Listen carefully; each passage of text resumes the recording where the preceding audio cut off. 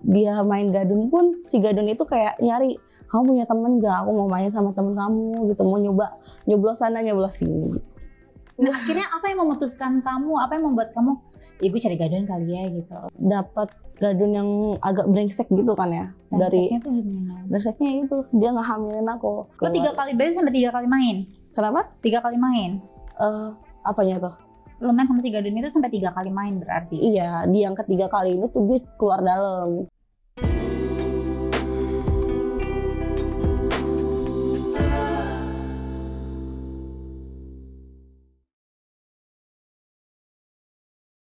Let's talk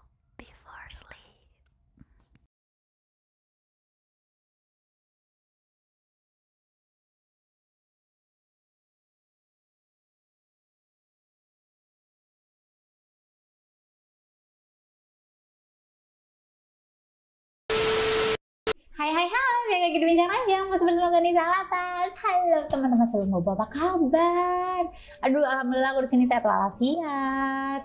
Rasanya happy banget ya bincang ranjang selalu hadir dengan cerita-cerita yang memang hmm, ini cukup pinggir jurang, cukup menurut aku ini suatu hal-hal yang tabu yang memang sebenarnya terjadi di sekeliling kita gitu. Salah satunya uh, kali ini kita kedatangan teman sebelum bobo kita, dia akan berbincang-bincang tentang disuruh disuruh cari gadun endingnya endingnya tragis lah gitu.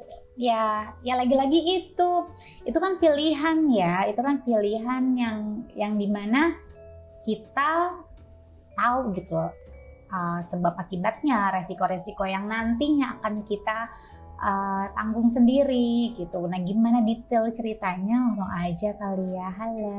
Hai kak. Apa kabar? Baik. Salah kamu ini ya belum lama habis lahiran iya betul Oke, baru satu tahun yang lalu setahun yang lalu berarti Hmm. anak umur setahun ya, iya setahun dua bulan sih setahun dua bulan. Oke, ya masih ini ya, masih fase-fase menyusui. iya Lagi aktif-aktifnya. Masih suka begadang nggak sih? Biasanya kan anak-anak umur segitu masih Eh, rajin begadang. Iya, masih. Sekarang begadang itu bukan begadang menyusui ya. Mungkin karena dianya tuh rajin bangun pagi, bangun subuh jam 3. Subuhnya jam 3 lagi ya kan? Iya makanya. Berarti lo ikutan bangun jam 3. Iya betul lah. Berarti udah MPASI dong. Udah, udah. Udah. Tapi masih menyusui? Sampai Eh, masih, masih. masih subur. Iya harus ya. Dua tahun. Ya, lumayan juga kalau subur ya. Apalagi Iya. single parent. Oke, langsung dikasih kode apalagi single parents ya. Pasti berat sih. Ya, Tapi kan semua pasti ada jalannya. ya, ini kan maksudnya kayak jalan yang dulu pernah aku pilih juga ya. Jadi kayak mau nyesal nggak bisa, jadi ya jalanin aja. Itu awal mulanya gimana sih disuruh cari gadun gitu kan? Lo bilang, ini siapa yang suruh lo cari gadun? sebenarnya ya itu tuh nggak nggak disuruh ya tapi kayak eh, si temen aku ini kan dulu kan jadi awal mulanya ya aku tuh nongkrong nongkrong nongkrong gitu kan. Mhm. sebenarnya aku kerja dulu nih sebelum kenal si temen tongkrongan ini. Aku kerja terus akhirnya nggak lama dari aku dapat nih teman tongkrongan aku resign dari kerjaan aku. Yang di mana kayak eh, di tempat tongkrongan itu hampir setiap hari minum dan hampir setiap hari itu ngerokok ya. Lumayan ya rokoknya rokok yang mereknya depannya E gitu kan. Nah jadi kayak mahal gitu kan. Sekali beli langsung bisa jadi gocap. Apalagi waktu itu tuh rokoknya aku ngudutnya tuh masih kayak kereta gitu. Cepet cur gitu kan. Satu belum habis sudah masang lagi gitu. Jadi boros udah kayak gitu eh jadi boros lah gitu kan. Terus temanku ada yang merhatiin nih eh, kok lu nggak beli rokok ini lagi gitu. Lu ganti rokok gitu kan. Ini kan murah gitu kan. Dan emang sebelumnya itu dia ada omongan cerita nih sama aku. Eh sebenarnya aku nggak nanggapnya kan bercanda ya. Karena banyak juga temanku yang kayak cari gadun yuk cari gadun yuk gitu kan. Aku kira tuh bener-bener bercanda ya. Taunya emang bener dia main sama gadun. Emang beneran nyari gadun? Iya dia sebenarnya ny- udah pernah main sama gadun. Dan dia kayak cuma ngode biasa aja gitu. Maksudnya kayak biar ada temennya juga gitu kan. Ternyata dia main gadun pun si gadun itu kayak nyari kamu punya temen gak aku mau main sama temen kamu gitu. Mau nyoba nyoblos sana nyoblos sini. Oke, terus ini cari gadun tuh berarti kayak open BO gitu kan? Eh, iya. Mungkin tapi kayaknya nggak nggak pakai aplikasi kali ya. Cuma dari relasi teman gue itu Iya bedanya gitu kan menjajakan diri dari teman ke teman Hmm. bukan pakai aplikasi yang atau enggak yang kayak ada maminya yang gitu-gitu Iya. kan. Kemarin kan banyak banyak cerita juga yang datang ke sini. Eh, ya jualan pakai aplikasi. Terus ada ke apa di tempat-tempat pijit lah tempat karaoke ada yang kayak gitu. Kalau ini dari teman ke teman. Iya, dari satu temanku. Nah, dia yang kayak relasi ke Gadun. Terus aku dapat misalkan eh, dari temanku itu Gadun A. Nah, dari Gadun A ini dia punya teman si Gadun B. Jadi kayak dari Gadun ke Gadun lagi, bukan temanku lagi itu. Gitu. Oke. Nah akhirnya apa yang memutuskan kamu? Apa yang membuat kamu? Ibu cari gadun kali ya gitu. Iya, karena waktu itu kan eh, nggak lama dari dapat tem- teman eh, teman tongkrongan tuh ya. eh, aku resign dan ya gitu. Jadi kayak ya namanya juga anak muda ya waktu itu masih benar-benar pendek banget pikirannya Itu ya. umur berapa saat kejadian? itu 20 19 19 kan cari gadun terus eh waktu aku hamilnya itu waktu umur 20 Hamilnya waktu umur 20 tahun. iya Berarti 19 sih kamu sudah mulai iya terjerumus terjerumus. iya betul. Ya kan umur-umur segitu kan masih kayak ingin mencoba hal-hal baru. iya larangan adalah perintah Iya benar. Tapi hmm, kamu tahu nggak sih maksudnya dengan cari gadun tuh ya berarti lo harus berhubungan terus nanti yang kayak gitu-gitunya kan lo ngerti nggak dari awal tuh? iya Dari awal tahu, dari awal udah pernah nyobain belum? Eh, belum pernah sih Lo belum pernah berhubungan? belum jadi waktu waktu Berarti lo ngejual perawan lo saat itu? Iya. Karena ya BU aja sih karena ya gitulah. Makanya aku bilang pemikiranku tuh waktu itu masih pendek gitu. Jadi ya gitulah. Apa Jangan yang- ditiru. Apa yang pada akhirnya membuat lo kayak ya udahlah gue cari gadun aja, ya udah gue lepas perawan gue aja gitu. Eh, karena waktu itu ya eh, pemikirannya masih pendek sih kak. Jadi kayak gue masih gengsinya tuh masih gede gitu. Kalau misalkan di tempat nongkrongan nggak PT-PT beli minum, nggak ngerokok gitu-gitu. Nongkrong di mana sih? adalah temen eh, tempat tongkrongan biasa aku sama temen aku. Cuma sekarang udah stop dong. Karena udah tahu diri dan udah habis kayaknya masanya. Berarti nah awal mulanya gimana? awal mulanya itu kan temanku itu eh, aku kira kan yang bercanda tuh kan. Terus akhirnya dia bilang "Eh, eh gue serius nih. Gue punya gadun. Lo mau nggak? Gitu kan. Soalnya dia juga eh, ada omongan dia mau nyari cewek gitu kan mau main sama cewek ini gitu terus ya kalau misalkan emang lo mau aja ya gitu kan lo bisa aja sih ke lo dan fee-nya lumayan nyampe satu Satu juta? Iya. Lo lepas perawan lo jadinya berapa? ya segitu cuman kan Sejuta? iya Demi apa? ya iya gitu Segan itu dapat perawan lo? Mm-mm. dan ya itu kan masih pendek ya pikirannya kan. Nah, terus udah kayak gitu ya udah. Aku tuh eh, sama si Gadun itu main kan. Nah, terus si Gadun itu juga kayak eh, hampir kayak istilahnya kayak jadi pelanggan aku juga kan. Karena dia sering minta sama aku. Terus yaudah aku sering lah main sama dia gitu pakai pengaman gitu. Dan udah kayak gitu aku nih eh dapat gadun yang agak brengsek gitu kan ya. Dari brengseknya itu dia nggak hamilin aku. Jadi tuh aku biasakan main ya sama gadun itu. Mereka transfer aku buat pesen room. Emang aku selalu request aku duluan ya yang ke room gitu kan. Karena aku tuh mikir gini kak even aku kenal gitu. Maksudnya ini kan aku juga kan nggak kenal ya. Tapi even aku kenal pun aku kayak was was gitu. Takut kalau misalkan mereka yang ke room duluan tuh mereka udah nyiapin sajam lah atau eh, kamera tersembunyi kan bahaya ya Hmm. Nah terus ya udah jadi kayak setiap kali aku main tuh selalu aku yang ke room. Tapi ini tuh ada satu waktu yang di mana si gadun brengsek ini Hmm. dia itu di room duluan gitu kan. Dia di room duluan. Nah dan itu di tengah malam ya. Emang biasanya tuh aku kayak malam tapi nggak terlalu tengah malam banget gitu kan. Karena kan masih pepe ke rumah kan, pulang pergi ke rumah. Dan udah kayak gitu tuh udah malam banget tengah malam. Si gadun itu ngajakin main tiba-tiba gitu kan. Terus Hmm.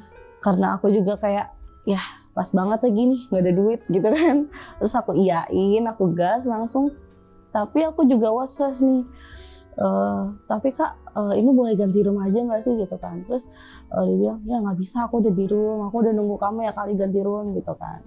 Terus ya udah aku masuk tapi kayak penuh was-was gitu kan.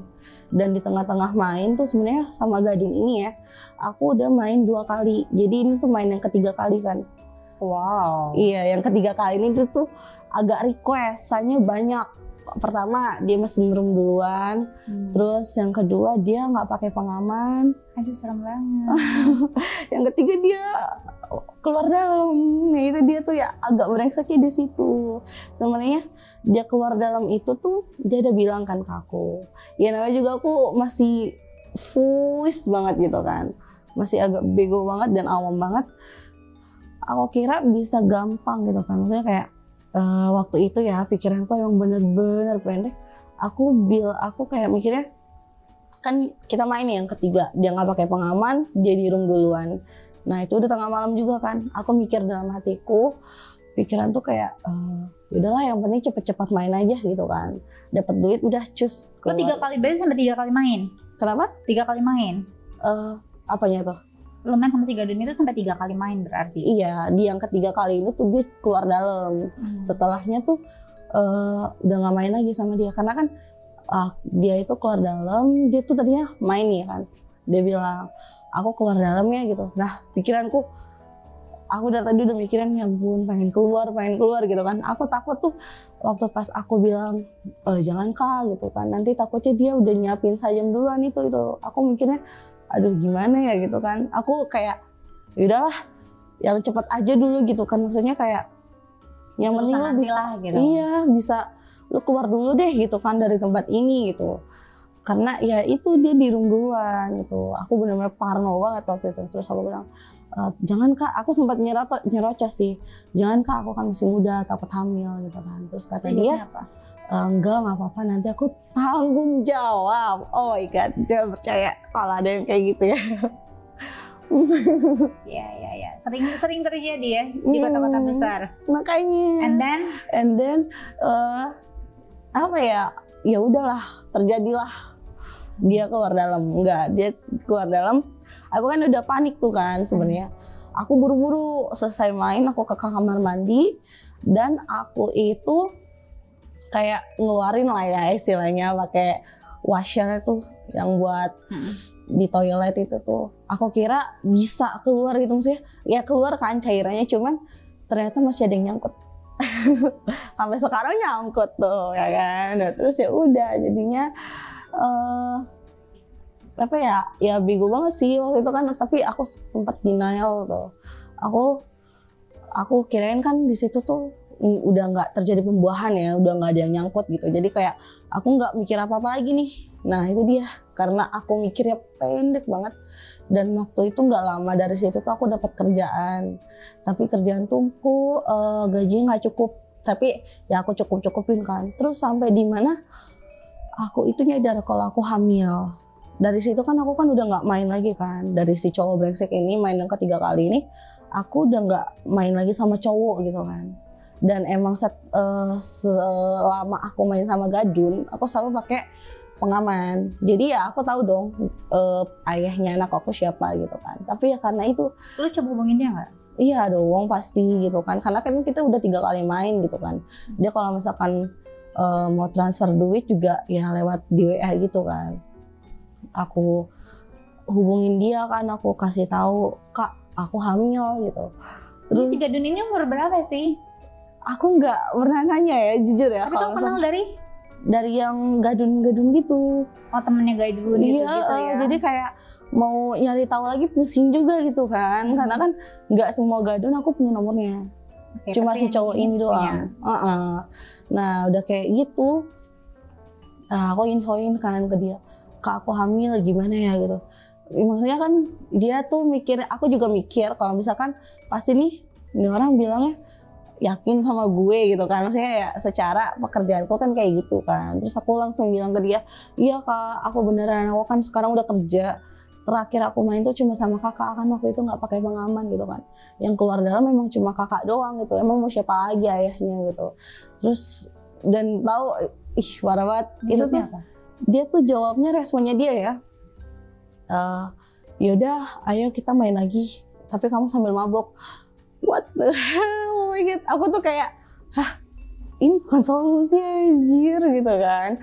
Terus si cowok itu ya solusinya kan kayak gitu kan. Terus aku kayak aduh udah gila nggak waras gitu kan. Sumpah aku kayak sempat mau tapi dalam hatiku ya ada yang bilang kayak eh jangan mau. Sumpah lu mau mati jadi kuntilanak gitu kan. Bener-bener kayak apa ya Takut gak sih tau malah lo diapain sama Iya. dia kan? maksudnya Kita kayak nggak waktu tahu. aku sadar aja kan waktu di yang main ketiga kali aja kan aku kan kayak ayo cepet-cepet keluar gitu kan apalagi waktu pas aku nggak sadar disuruh sambil mi- minum kan sambil mabuk buset kayak mungkin udah nggak cuma tinggal arwah kali ya sekarang gitu kan kalau misalkan aku iyain ajakannya ya udahlah dari situ tuh aku kayak emang ada solusi lain gitu kan terus ya nggak ada solusinya cuma itu.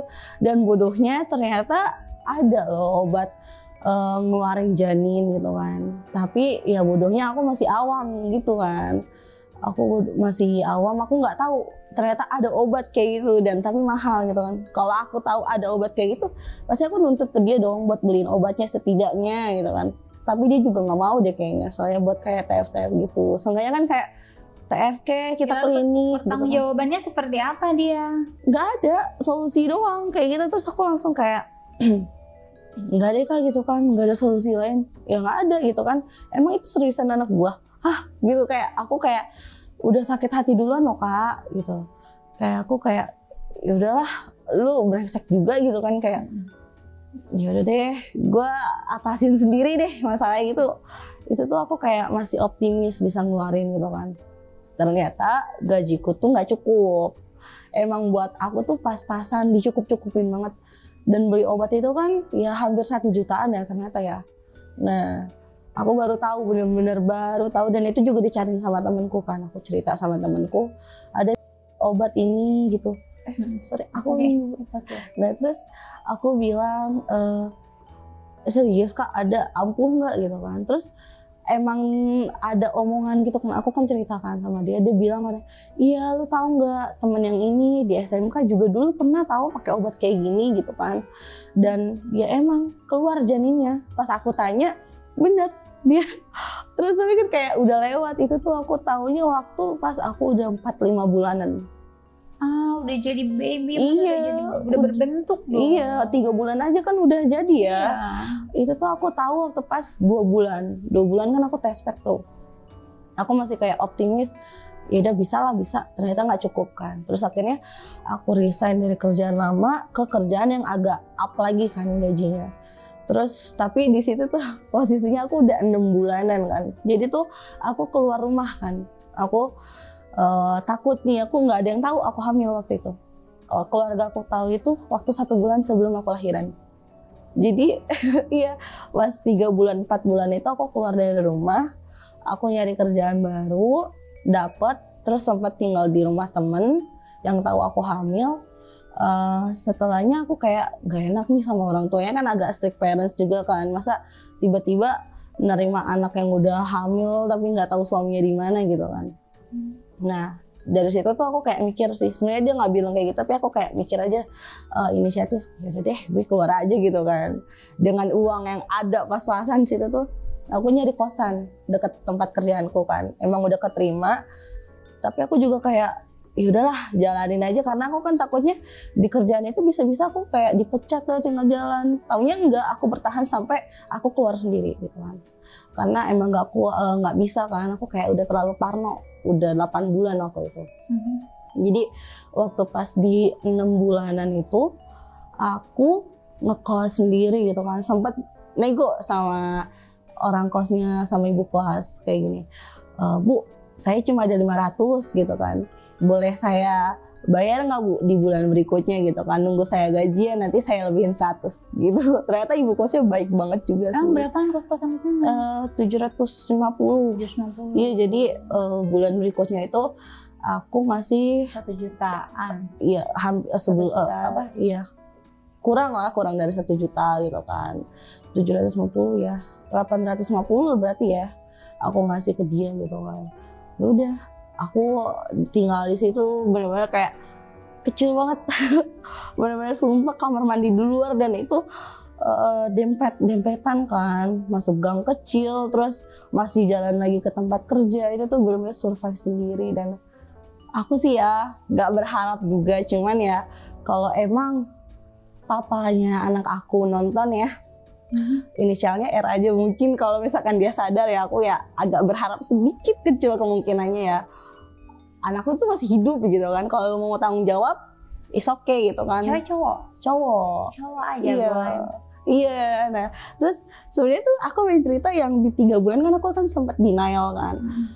Aku kayak eh, pasrah waktu itu gajiku kan sedikit nggak bisa beli obatnya agak sejutaan gitu kan. Sedangkan gajiku tuh under 2 juta. Ya gimana bisa gitu kan kak? Terus udah kayak gitu eh aku denialnya tuh nyobanya kayak minum obat-obatan overdosis aku pernah. Tapi Tuhan tuh baik banget sama aku. Aku kayak itu tuh aku pertama pergaulan sesat pergaulan bebas tuh aku masih dibebasin gitu kan sama Tuhan gitu. Terus diajakin main sambil mabuk sama sa- si gadun brengsek ini Tuhan masih nyelamatin aku gitu kan. Bisa aja waktu pas dari situ tuh dia langsung hantam aku kan nggak tahu ya terus akhirnya sampai aku kayak eh, melahirkan juga anakku tuh masih dikasih kesehatan gemoy gitu kan. Terus aku juga masih hidup gitu kayak udah deh waktu setelah melahirkan tuh aku kayak kayaknya gue harus stop deh gitu kan. Tuhan tuh udah ngasih larangan banyak banget ternyata gitu kan. Dan aku mikirnya kalau emang nggak ada anak aku nih aku mikir mau sebejat apa sih aku nantinya gitu loh kak Iya terus udah kayak gitu aku tuh denialnya juga aku minum sambil mabuk loh kak. Dari kan katanya kan kata orang ya di umur 1 sampai 3 bulan itu kan masih rawan ya. Aku bener aku nyoba segala macam cara yang ada di Google kan. Minum obat overdosis gitu kan. Terus lompat-lompatan bener-bener aku lompat-lompatan kan. Terus udah kayak gitu eh, aku ngerokok mabok gitu kan. Maboknya tapi kayak ya di eh, circle aku aja gitu kan Tujuannya biar bisa menggugurkan itu. Iya, tapi nggak bisa benar-benar sehat gitu loh kuat. kuat. Iya, aku tuh kayak ngerasa bersalah sama diriku sendiri, sama anakku juga terlebih lagi kan, apalagi sama Tuhan gitu kan. Jadi kayak sumpah sih ini kayak larangan dari Tuhan gitu kan udah banyak banget nih hintnya gitu kan clue dari Tuhan lu harus stop gitu kan terus ya udah dari situ dari aku punya anak tuh aku kayak udah deh gue kayak stop aja gitu kan terus eh, itu gimana yang yang kamu 8 bulan akhirnya orang rumah orang tua kamu baru tahu kalau kamu hamil. Oh, itu tuh jadi kan sebenarnya tuh niat aku nggak pengen keluargaku tahu kayak udahlah pengen loss aja gitu kan dari keluarga karena takut dan malu juga kan ya image orang tua di mana gitu kan. Aku nggak mikir diriku bodo amat lah orang mau nganggap aku kayak gimana gitu kan emang udah jelek gitu. Tapi kayak orang tua aku gitu kan kayak nggak adil aja ini kesalahan aku tapi orang tua aku ikut nanggung gitu kan.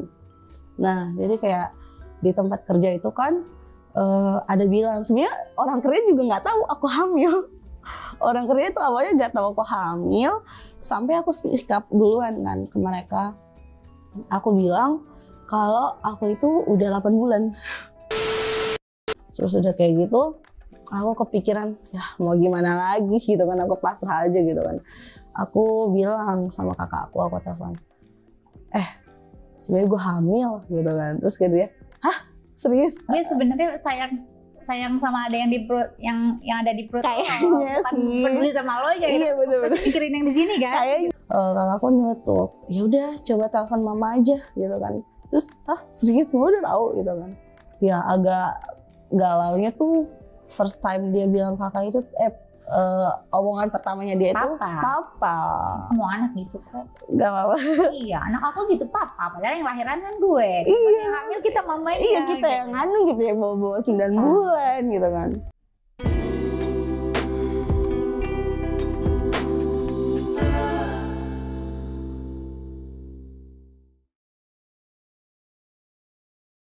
Let's talk.